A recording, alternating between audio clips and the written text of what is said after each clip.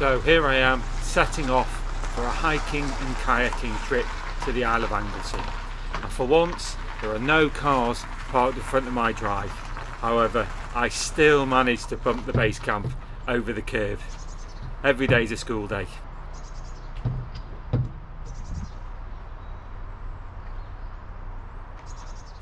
I'm staying at the Rhosboeth certified location just outside Benllech on the Isle of Anglesey.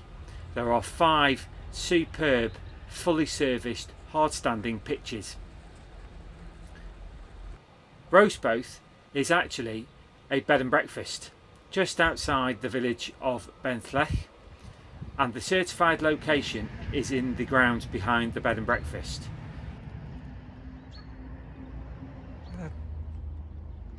There is a shower block on site for the CL. I don't personally use shower blocks. However, on investigation, I find the shower is absolutely spotless.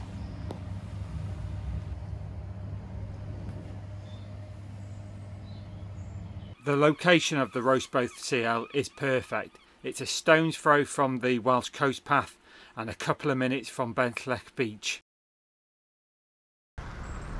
When I arrived on site, with there being nobody else about, I did practice my reversing skills. Now it took several attempts, but I did eventually reverse the base camp to the spot that I wanted it in.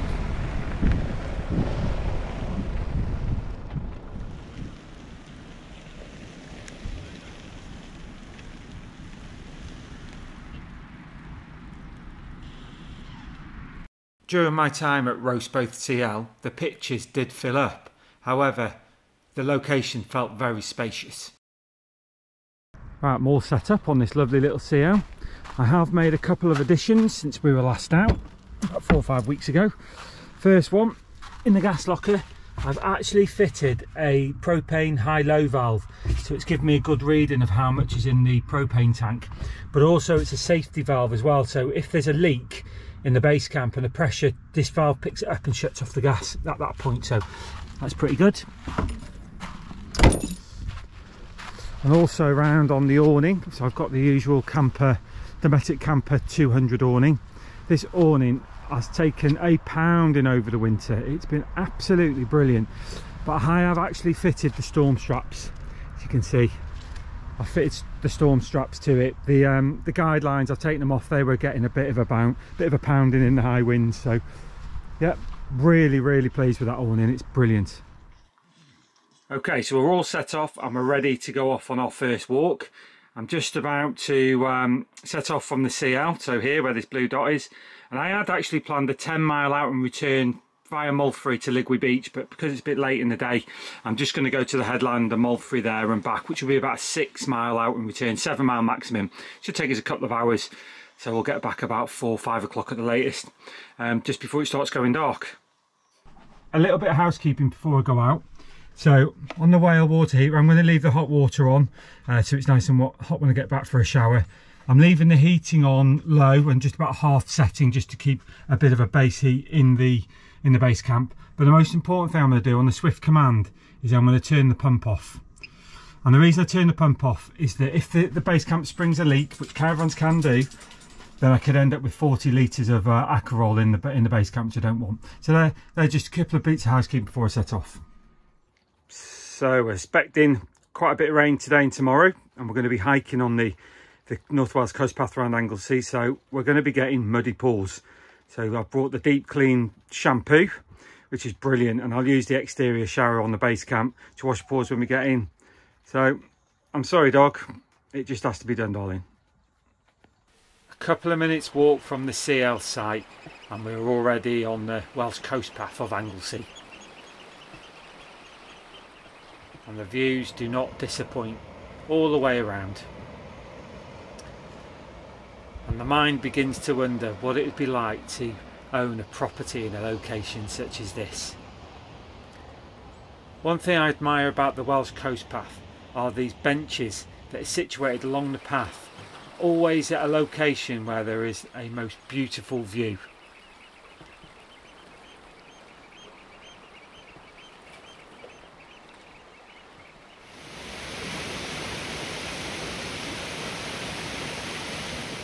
As we continue along on our journey and cross deserted beaches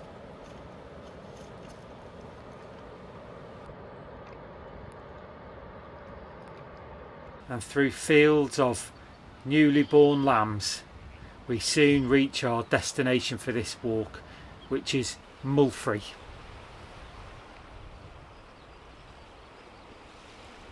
And we get to see the RNLI lifeboat station at Moelfre, an active life station with a crew of six to seven people.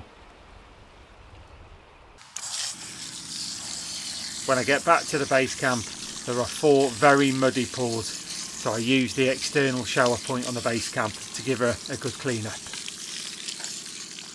So here we are, first evening in the base camp. Dog's absolutely knackered after that walk, as am I. So I'm just preparing tea. My wife's made me a vegetable chili, which I'm just heating up. And then in the oven, if you can see that, but I've got a, um, a bread, a baked bread in there to go with it.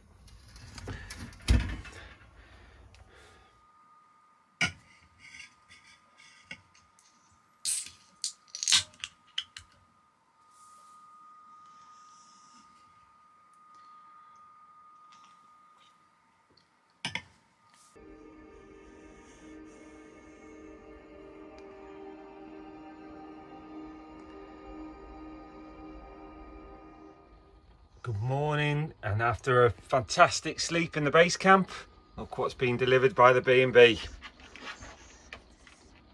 A full cooked breakfast, cost £10 worth every penny, can't wait to eat that. And at the dog.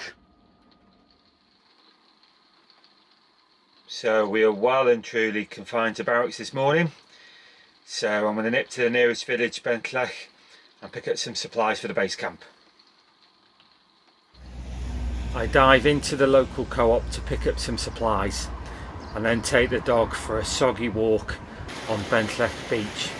But even on a grey, wet and rainy morning, it's still absolutely beautiful there. And the dog didn't mind getting a little bit wet.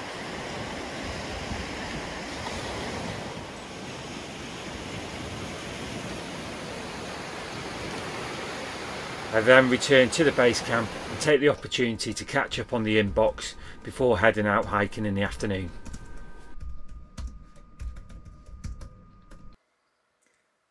Well, it's finally stopped raining. So the plan for this afternoon is the dog and I are going to head over to the northwest point of Anglesey, the Isle of Anglesey, to a to a quite a dramatic coastline called Ynys-y-Facton. I think that's how, how it's pronounced. Dusky i. Um, so I had originally planned a 10 mile hike from Ynys-y-Facton to Cemlyn Bay but because the morning's been robbed by the rain I'll just go there and do some hiking a few miles along the headline and come back. When we arrive at Ynys-y-Facton we find the location deserted and the views which were revealed outrageously stunning. The landscapes here are very dramatic.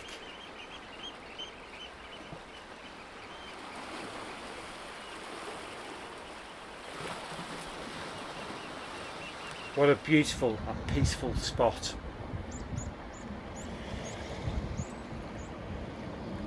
But it's when we take a look from the sky that we really can see what an oasis Ynys-y-Facton is. A sandy beach surrounded by the rocky and dramatic coastline of Anglesey. As we explore the headland further, we find some interesting and long ago abandoned structures and also a variety of deep cut caverns in the Anglesey cliff faces. But it's when we return to the base camp that we're greeted with a sunset putting a fire in the sky behind the base camp. So it's dinner time. Let's have a look what we've got. I'm just preheating a stew that my wife has uh, made for me a beef stew which is going to taste amazing and then in the oven I've just put in another crusty bread so that should be ready in about another 10 minutes or so it's the morning of our last full day on the island and the plan today is to go kayaking. But first I return to Benllech Beach to give the dog a good run around.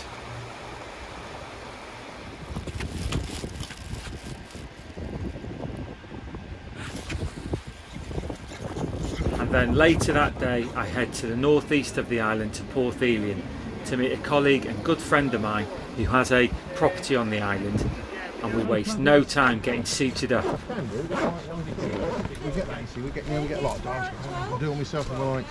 we are quickly heading down to the water's edge to spend the rest of the afternoon paddling and exploring Anglesey's coastline.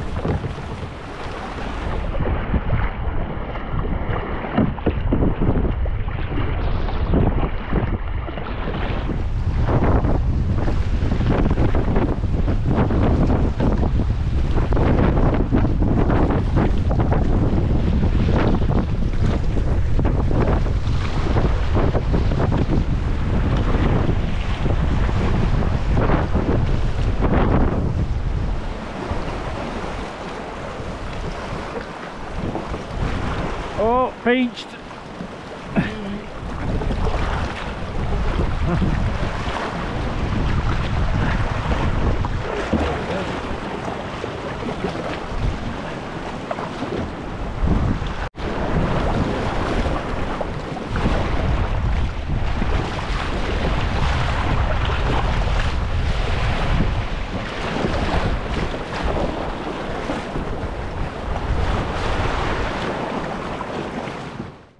I spend my last evening enjoying the delights of the Adelphi pub in Amlwch. The pub is located at the entrance to the working harbour of Amlwch. As the sun begins to rise on my final morning, I reflect on what a fantastic CL the Rhosboeth is. A five minute hike to the North Wales coast path and a five minute drive onto Benllech Beach and also situated on the A5025 for direct routes around the island. And that brings to an end another excellent base camp adventure. I'm already looking forward to the next one and thanks for watching.